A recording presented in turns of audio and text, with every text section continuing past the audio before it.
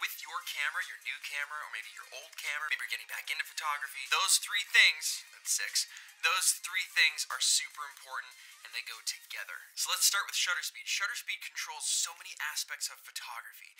If you want to get someone running fast pace and you want to stop that action and make sure that photo's clear, maybe you're taking photos of your kids or your pets and they're running around really fast and you want to make sure that they're not blurry, having a high shutter speed opens that shutter and closes it really, really fast. Stop.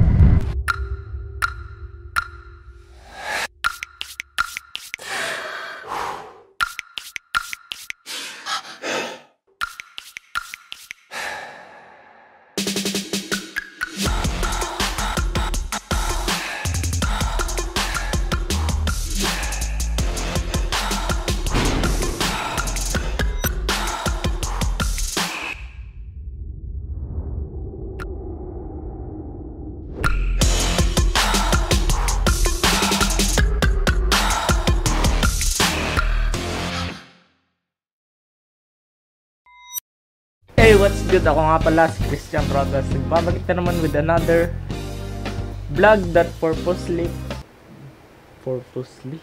May salita bang purposely? With another school works na naman natin na ipapasa natin yun and yun. Caffeine is defined as a drug because it stimulates the central nervous system. Causing increased alertness, caffeine gives people a temporary energy boost and elevates mood. Mostly meron substances ng caffeine sa mga tea, coffee, chocolate, and other soft drinks and pain relievers. Kadalasan itong nakikita sa mga other over-the-counter medication. Unlike many other psychoactive substances, it is legal and unregulated in nearly all parts of the world. There are several known mechanisms of action to explain the effects of caffeine.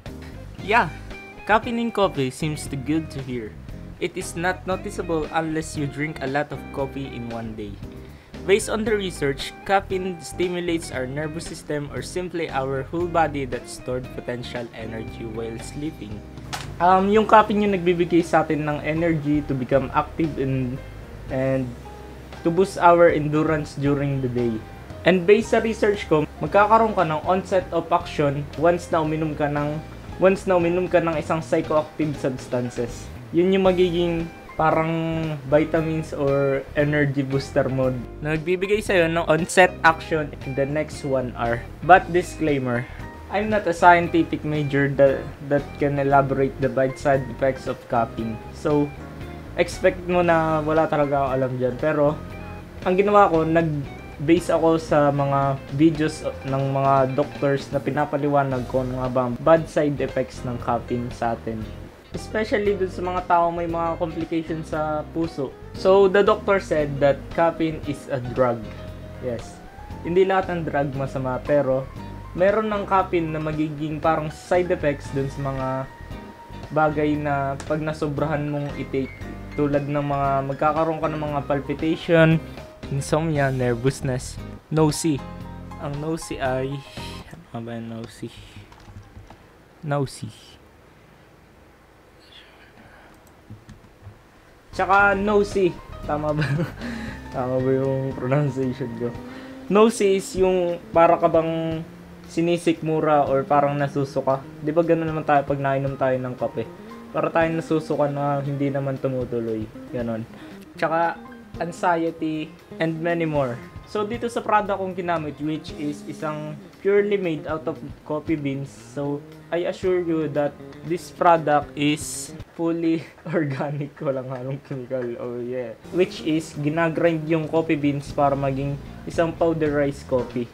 And yun, ilalagay siya sa parang white mantle or something na parang paper yun, hindi ko alam yung tawag. And nilalagyan, nilalagyan siya ng mainit na water, water, para masala yung mga parang excess na malalaking butil na hindi nag-grind ng maayos. And yung lumalabas sa tubig dun, yun yung mismong ginagawa nilang coffee. Which is napaka-organic kasi made out of coffee bean siya na nakukuha siya sa isang herbal na halaman. I'm proudly say na hindi to caffeinated coffee. Isa siyang tinatawag na decaffeinated. Big brain. Sinasabi ba na pag walang caffeine, hindi na hindi na epektibo yung coffee or hindi na siya makakatulong sa'yo para ma-boost yung endurance mo? Well, I gonna say no, no, no, no. Herbal coffee is healthier than 3-in-1 or yung mga pack coffee dyan na nabibili natin sa mga stores. Kasi parang meron na sila doon nilalagay na kung ano-ano na parang magbuboost sa'yo upang ano eh, mag-start ka ng day mo eh. Mga chemical substances na merong hindi naman sa masama pero it is gonna produce some side effects if nasobrahan yung pag-take mo nun. Yung mga decaffeinated coffee is also help you to boost your endurance and start your grind.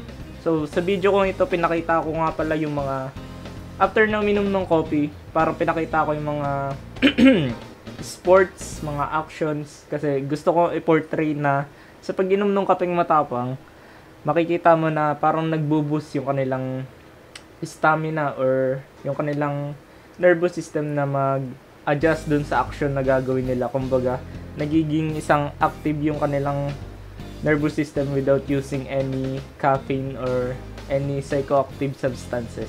So, that's all. I hope you learned from this video and cheers. I gotta get my coffee. Dito na lang. Hindi na malamig. Kanina ko pa kasi tumaga pinimpla. Well, ito nga palang ginamit ko is Nescafe nga ba yan? Nescafe na hindi siya yung 3-in-1. Nilagyan ko lang siya ng gatas at asukal para yun. Parang naggawa din ako ng 3-in-1. Ayos. um, di ko alam kung aabot to ng 5 minutes eh. Kaya gagawa ko ng mga gantong clip. purposely. May salita bang purposely? Kaya ako nababay na. Ma'am, yung aking ano nga pala necktie ay nawawala. Tsaka yung ID ko po hindi ko po mahanap.